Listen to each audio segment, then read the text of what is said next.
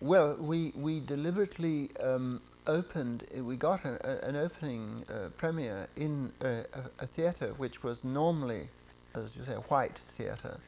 And then that uh, uh, uh, aroused some kind of ambivalence. So we decided that the best thing to do was to run that for the benefit of African causes which it, it, it, was very successful in doing. It attracted a lot of attention, and the stars of the film actually appeared on the stage and things like that. So, so that it, got a lot of publicity and got a lot of exposure. And then it was uh, shown to the black audiences in the townships, where it practically created a riot. It was so successful that they, they were tremendously enthusiastic and, and pleased with that film.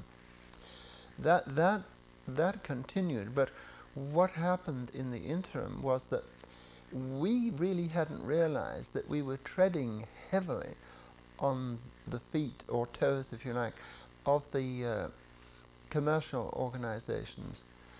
Uh, it, it, hadn't occurred to us that what we were doing, we were making a film for, say, £5,000 in those days, and they were buying a film for £50 and distributing it and making enormous profit.